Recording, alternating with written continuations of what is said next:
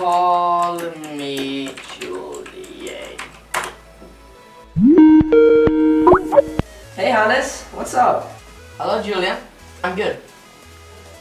Dude, I'm so starving. By the way, what are you doing tonight? Uh, uh, I'm going to my grandma. Okay. Here, I'm so hungry. I'm just gonna go get some toast.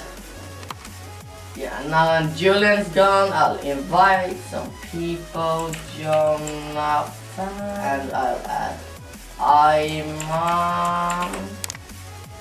Hello guys, how are you doing today? Hello Hannes and Iman. And Julian. No, Julian is eating at the moment. No worries guys. That guy is away. That guy is such a wimp. Yeah, exactly Iman. He should be in the garbage. Audio Jungle.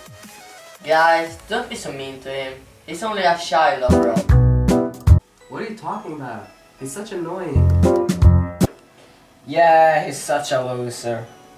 I think he should be in the biggest loser. I think he should die.